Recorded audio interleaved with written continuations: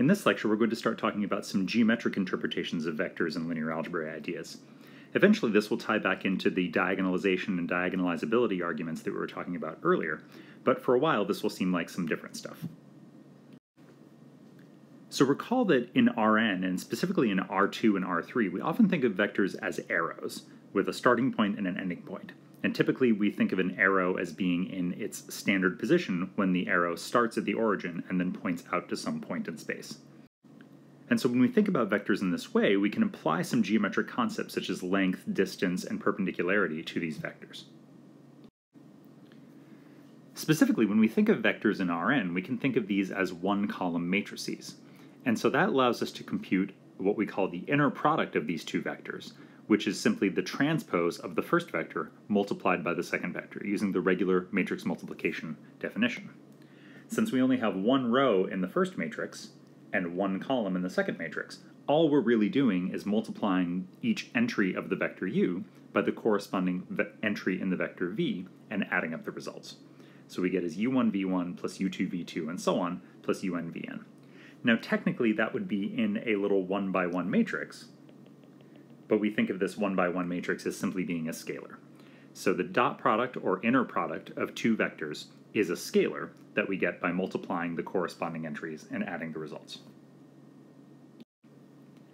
Now, inner product has some nice algebraic properties. For example, it's commutative, u dot v is the same as v dot u. There's a distributive property, u plus v dot w is equal to u dot w plus v dot w. Notice, by the way, that as I talk about this, I'm using the word dot rather than the word times. We really want to be careful with how we discuss this. Um, if you've studied some physics or some other courses, you might be familiar with the cross product of two vectors. That's not something we're really going to talk too much about, but there are different kinds of products for vectors. And so we want to be really careful not to use the word times here unless what we mean is really honest to goodness scalar multiplication. Speaking of scalar multiplication, c times u dot v is the same as c times u dot v, and that's the same as u dot c times v. So if I ever use the word times, I'm meaning scalar multiplication. If I use the word dot, then obviously I mean the dot product or the inner product that we just talked about. Another important property is that u dot u is always greater than or equal to 0. And this is because if we dot a vector with itself, what we're getting is u1 times u1 plus u2 times u2 plus u3 times u3 and so on. And so this is simply the sum of the squares of the entries in our vector. And since when you square a number, you get something non-negative, and add those together, the dot product of a vector with itself is always non-negative. And in fact, the only way that we could get this to equal zero would be if each of these products is itself zero. In other words, if u is the zero vector.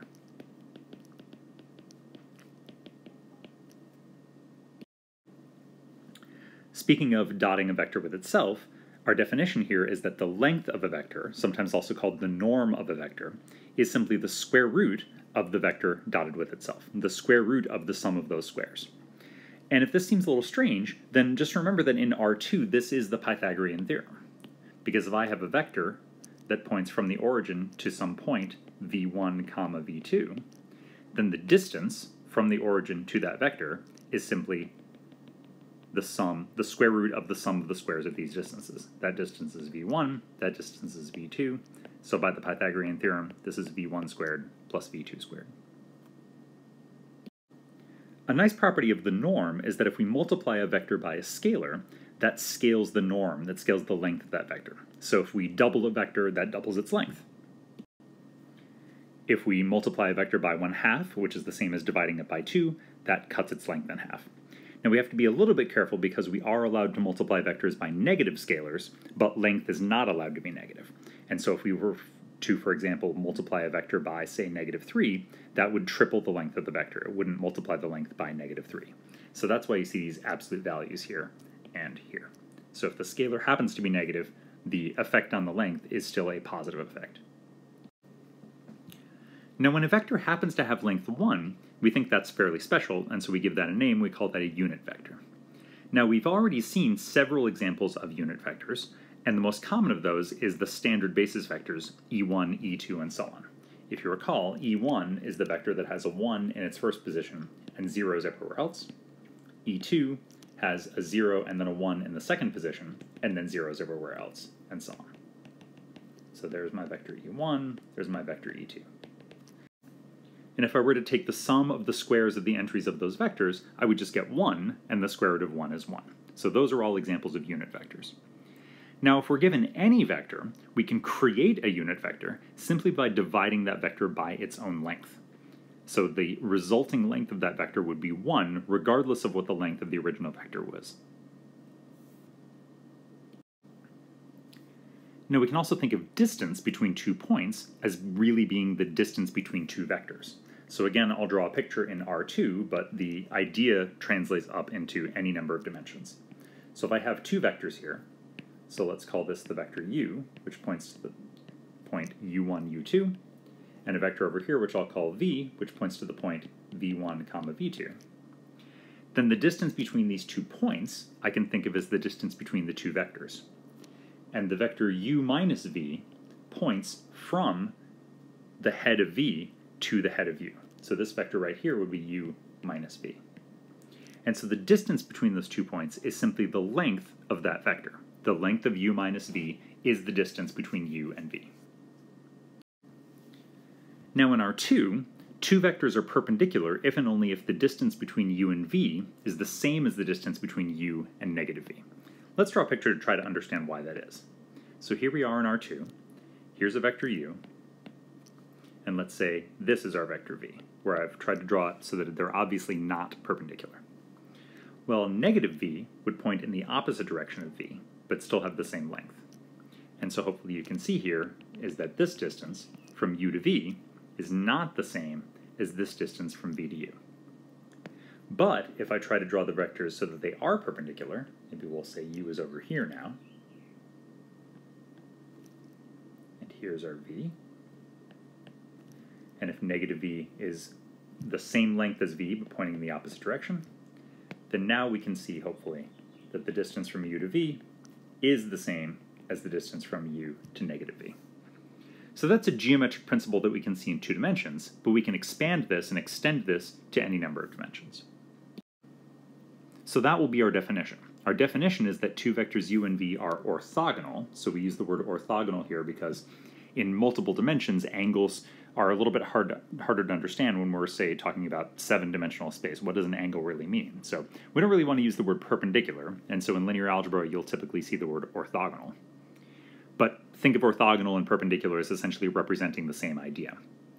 But the definition is that these two vectors are orthogonal if the distance from u to v, that's norm of u minus v, is the same as the distance from u to minus v. That's the norm of u minus minus v, which is the same as u plus v.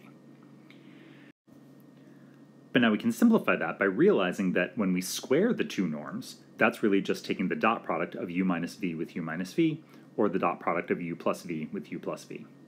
Using those nice algebraic properties that we have, what we get are two similar expressions for the norm of u minus v squared and the norm of u plus v squared.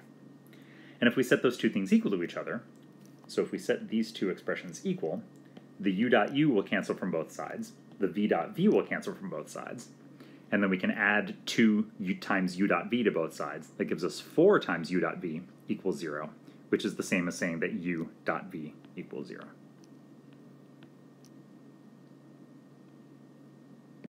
So our criteria, our much simpler criteria for determining whether two vectors are orthogonal, is to simply take the dot product of those two vectors and see if we get the number 0. If we do, then the vectors are orthogonal, and if we don't, then they're not. Now, one thing that we can do with orthogonality is think of what we call the orthogonal complement of a subspace. So if W is a subspace of Rn and Z is just some vector in Rn, we say that Z is orthogonal to the space W, right? We just talked about what it means for one vector to be orthogonal to another vector. Now we're talking about what it means for a vector to be orthogonal to a subspace. And that just means that Z is orthogonal to every vector in the subspace. And then the orthogonal complement of W which we write W with a little perpendicular sign. And so we read this as W perp, is how we say that, W perp. That's the set of all the vectors that happen to be orthogonal to W. Now this might seem a little crazy because you say, well, I'd have to have a vector that was perpendicular to everything in the subspace W. But we can think of an example by imagining that W is some plane through the origin, And then if we think of the line through the origin, here's our origin here, the line that's perpendicular to W, then all of the vectors in that line will be perpendicular to all of the vectors in W.